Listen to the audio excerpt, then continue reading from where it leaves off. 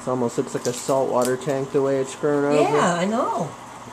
That's what's so neat about it. And with the way the pumps are doing it, it's got it waving just like salt water does. Yeah, folks, do not try this at home. We've got um, really huge purplish uh, convict cichlids. In a large environment, they get really big and pretty. Two mated pairs. We have baby convicts they're taken care of, but um, we've also we take our common guppies and our miscellaneous junk guppies and put them in here to just see if the environment might improve them. And because the the adult convict cichlids were originally raised from babies with uh, guppies and things like that, they just see them as a part of their natural environment and they don't bother them. The only problem is of the two the two pairs, one male has has kind of mostly dominated both females and the other male's kind of pissed about it. So every one of the smaller babies that he can get a hold of, he's been eating them. I guess some sort of revenge thing with these fish. I don't know. They don't normally do that when they're family, but um, I guess the one male pissed off the other male, so that male's like, "All right, I'll get you, you son of a bitch." We got this She's is got a, eggs because she's turning her color. yeah? I see. This is a UV light. So this um, what's it called? Hornwort. Hornwort. This new plant we got, hornwort, should do very well. It's doing well in our other tanks. And um, all the algae growing in here, it just kind of gives it the undersea environment. And you've got the um, the flowing current, so you got all this algae just kind of waving. Reminds me of the ocean a little bit. Just waving like coral reef stuff or whatever. It's pretty neat. Oh, pumpkin. And some of the uh, the common guppies we put in here ends up uh, I don't know if the the nutrients in the tank are somehow transforming them or what, but they're starting to be not so common after all. They're starting to come out with fancy features. So I guess if they survive in there, which so far they've been doing good for weeks, uh, once they get fancy enough, the you know anything that ends up being good breeding stock, we'll pull them out and we'll use it. About three months. Huh? They've been in there for three months. Three months? Yeah. Yeah, they're pretty strong then. And these guppies are mating with each other, so I guess any babies that end result are going to end up as food. Because those convicts are just going to nail them, there's no question. Unless those babies get really good at hiding real quick.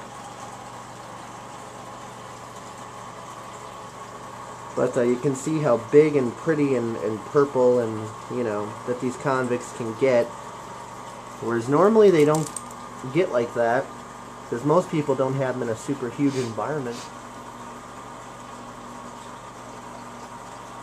Now when they're this big, I mean, they'll go great with um, um, red devil cichlids and oscars and even some of your larger variety of goldfish. Anything big and or aggressive that um, these guys can't really beat up on. Uh, these guys will go good. So I guess uh, a community tank of a sort if you got very large fish and they're all large fish that can handle themselves. I got a snail in there now. Yeah, oh, they're doing Came their mating thing here. We got them.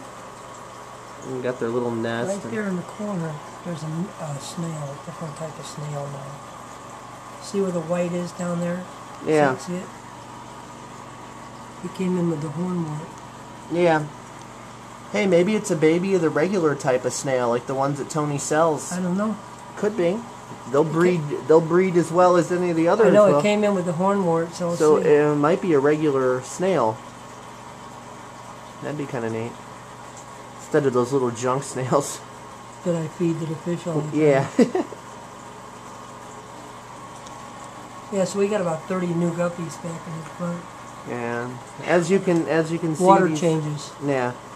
These things, they're, as they get bigger, um, their body shape becomes more exotic, and their fins become more exotic, and they go more from a from a gray into more of a neon purple with a bit of a bluish tint as they get bigger. So,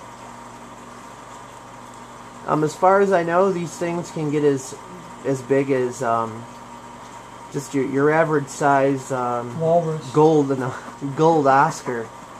Seeing as the gold Oscars tend to be a bit smaller than the tiger Oscars, that's a good comparison. Tiger Oscars get like that. Oh, I know. The gold Oscars don't, though. I think they're a special human tampering. They're an inbreed, yeah. Yeah. So they only get a fraction of the size of the tiger Oscars. It's a span Yep. before they kicks her in the butt. Get over here, woman. With this current, their their fins really look nice. Yeah. Everything's flowing. Where's the other female, though? She's with her eggs. Oh, she's over there. Yeah, she's with her eggs. She's in that hutch.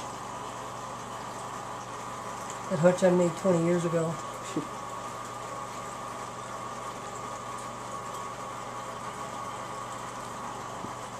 Time flies. Look, oh, no, that's not her. She'll pop out after the gup to chase the guppies off. yeah, I was looking for her today. I'm like, where is she? And then I said, I spotted her. So I scraped this all down so I could see her. As you can see, I Oh, this is a up. pretty cool looking tank. A lot of Yeah. action going on It's here. coming. It's it's moving, boy. it's moving. There ain't no standstill about it. Well, you know, I, I, I never thought uh, convicts were anything but boring until a couple of years ago. Oh, they're action. Gotta, fish. got, gotta, gotta bring out their, their full potential, their big size and their full colors and elaborateness, and experiment with uh, what species they can get along with or not, and you know, then you got things getting interesting. Yeah, have about ten big males in there and one female. Oh Christ! You, that, that's a war. You'd be asking for a war. That would be a The water would boil. war. You wouldn't need a heater in there. That'd be a war.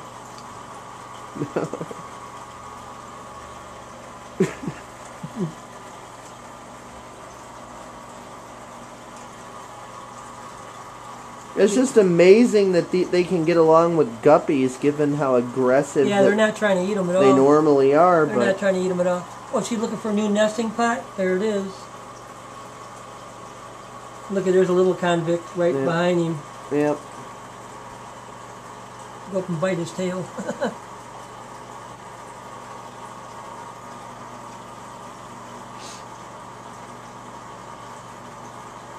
Yep. I'm getting some of the baby convicts on the camera here. Alright, well enough of that I guess. www.pondscape.us